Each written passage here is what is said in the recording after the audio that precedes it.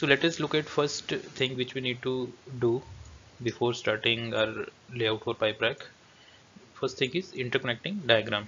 Now let us understand what is uh, interconnecting diagram. Basic line diagram showing all the lines entering and leaving a plant which are to be routed on pipe rack along with the interconnections with all the units equipment on the plot plan. Okay? So we need to have a plan what are the basic equipments are there and how many lines are going and how many lines are entering into pipe rack and how many lines are uh, coming out from the pipe rack. So uh, that means we should have a uh, plan with us where all the lines entering and exiting in the pipe rack. That means whatever lines are running inside the pipe rack that we identify at this stage. So what is the purpose of interconnecting diagram? It gives the modeler an idea of all the lines coming on rack for planning okay? Once we have this kind of diagram with us we, we can plan anything like how many lines are there okay? How many people will be required to route these lines and all that stuff we can plan based on this diagram. Line routing on for rack size calculation. Once we know okay 100 lines are there then we can plan our rack accordingly okay? Assists in material takeoff. We can always uh, take on take preliminary material based on this diagram okay because we know what is the length required for uh, routing the line through pipe rack and when it is connecting to two equipments. So that way we will be having overall picture with us and we can generate MTO uh, from this document pipe rack loading calculation. Now we know what is the size what is the length how many fittings are there in pipe rack. We can always start working on loading diagram. Okay. Assists in piping flexibility studies.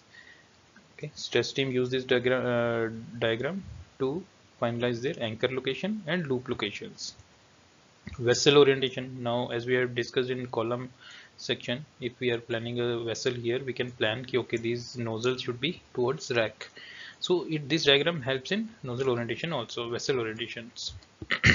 Vessel orientation as well as nozzle orientation. Location of sub pipe rack now suppose in particular section we see there are so many lines which are entering into pipe rack and we can group together and we can have a sub rack uh, based on that. Okay so this diagram helps in locating the sub racks also equipment location we can always fix equipment location because through this diagram we can uh, understand the flow also.